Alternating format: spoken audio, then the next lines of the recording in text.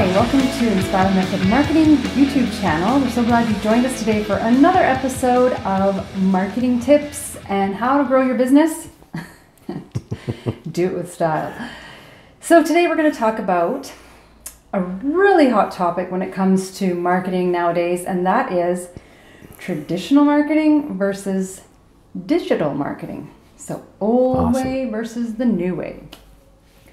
And my name is Karen, and this is my husband Trevor. We Hi there. co-owners of Inspired Method Marketing, and that's why we're here today to teach you all that we know and help you grow your business. So if you're not putting relative content in relevant places, you don't exist, and that's Gary Vaynerchuk. Awesome. He always tells it like it is. it's always like point blank. Um, so SEO, which is search engine optimization, has 14.6% conversion rate as compared to 1.7% of traditional outbound methods such as cold calling and emails. So that's a big difference. That's huge. So the problem that we found is business owners think that they're saving money by investing in traditional marketing methods like print media. What they don't realize is that their customers are looking online for their next purchase. That's a big, big deal. Yeah. Yeah, we had that uh, uh, customer the other day. He's mm-hmm. he's mailed out over sixty thousand mailers. He got four responses and zero sales. And that's that's, that's absolutely awful. Um, you know, I don't know what he spent on that, but I'm sure it was a pretty penny that had saw no return. So yeah, and not only did he spend the money on creating it, or somebody did, but he also spent the money on um, the, the papers to make it and then delivery of it. That's, yeah. That seems like such a big waste when there's such great methods out now mm-hmm. to get your business visible. So, what's the biggest problem then for any new business? Biggest problem for any new business is nobody knows you. Mm-hmm. Nobody knows who you are. Nobody knows anything about your business, and you don't really have a reputation. And because of that, um, you know, the phone isn't going to be ringing magically the whole field of dreams quote, if you build it, they will come, just doesn't work with new businesses.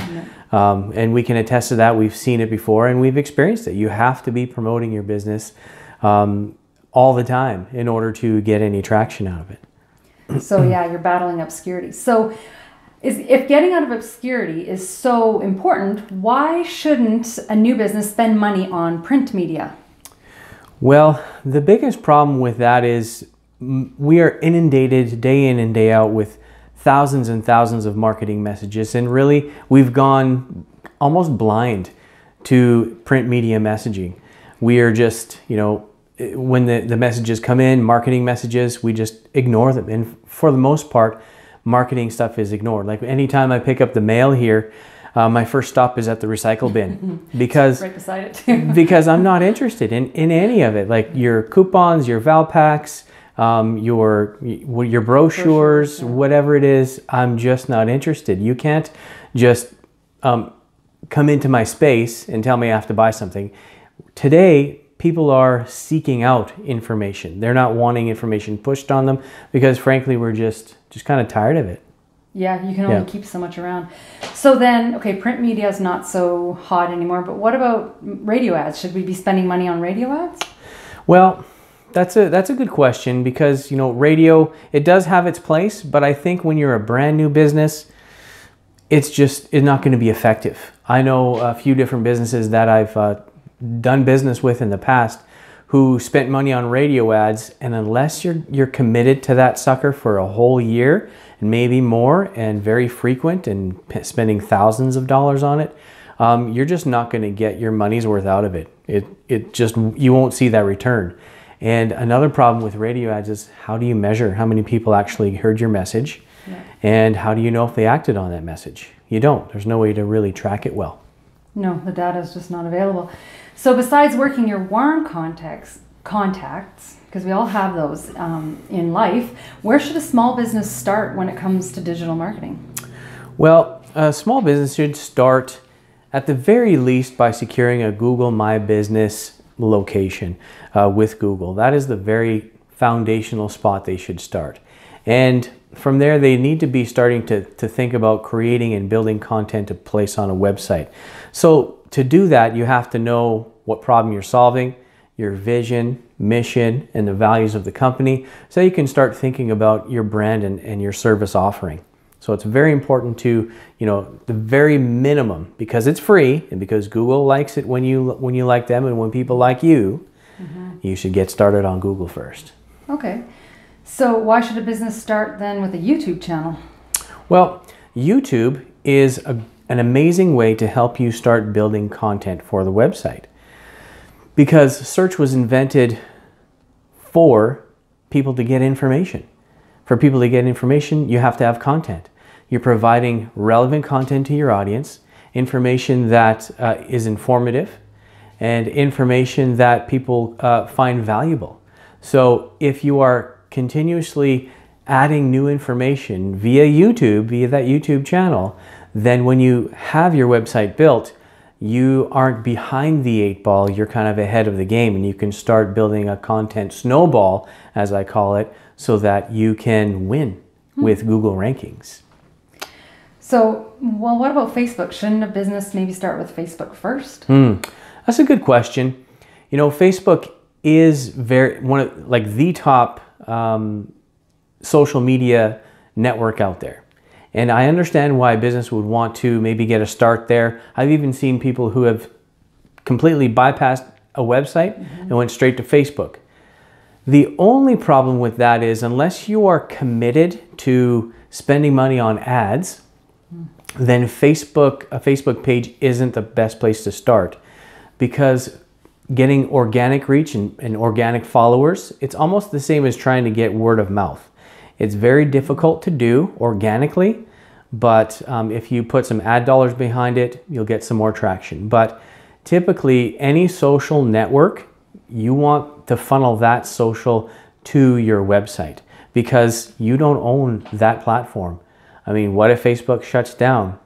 Your whole marketing system is gone, right? Or, or changes a rule. yeah, they could change a rule. Change and it Mm-hmm. just messes everyone up like completely. Exactly. You don't own that platform. You don't own Instagram. You don't own any of these platforms. So you should have um, a website that you can, because you own it.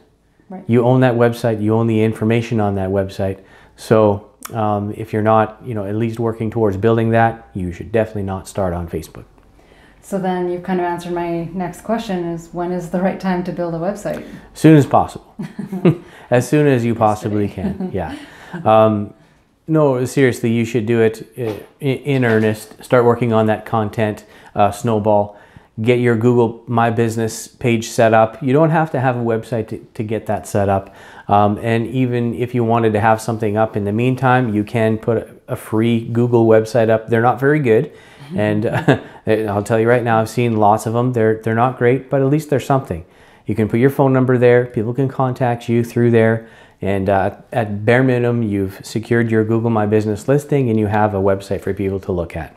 Yeah. Okay. Yeah, they don't look that good, to No. be honest. And it kind of takes, for me, when I see something built by a Google website, a website built by Google, it just kind of takes some of the credibility away. So work on that website. Uh, so once the website is built, what, where should a business start advertising? Well, you can start advertising on Google using Google AdWords because Google loves when you use Google, right? And you can start gathering information, right? You start gathering information with uh, a pixel on your web page. And from there, you can begin retargeting people who have visited your website. So all of your social media will be directed towards your website. So anybody who visits that website, you can then retarget them with your messages, with your ads, with your content. Okay. Yeah. So why is Facebook advertising better than traditional marketing like media, TV, print? Why is it better? Well, Facebook advertising and Google AdWords and these other places, you can actually track and measure data. So you get information back on who visited your website. You get information on, um, you know, you get demographic information, and you can target your your ideal and likely buyer. So you're not just you know throwing money to the wind and hoping that people will will see your ad and, and buy it like on a billboard or radio ad or newspaper. Um, you actually have a, a, a database to work from that you can kind of hand pick and select who your ideal and likely buyer is. And then from there, you get back some information when you've run some ads and then you can make adjustments on your, your ad copy, your headlines, your images, and your audience. Mm-hmm. So there's a lot of lot more power in the hands of the advertiser than there was before. So that's why Facebook and Google AdWords and these are very powerful tools for you to use. Okay, and so obviously we made a great case for the new style of marketing mm-hmm. using digital. But should a business ever invest in traditional marketing?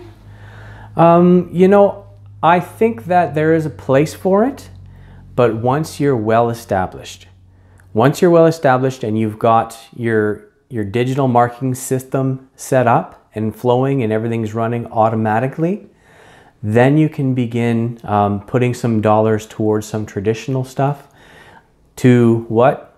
Drive traffic to your website.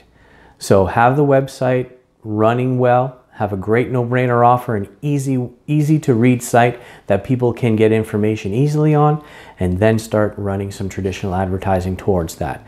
But in today's um, day and age, you really don't have to, but you can. Great. well, I think you've probably figured out we're very uh, big advocates of digital marketing. Yeah. Obviously, that's what we are a digital marketing agency. So if you need help or you want to get started today, today you can actually get started for $1 for your first month with no contract and no obligations. So hit us up underneath, um, like this video, and follow us for more great videos on all things digital marketing. Bye. Have a great day. See you guys.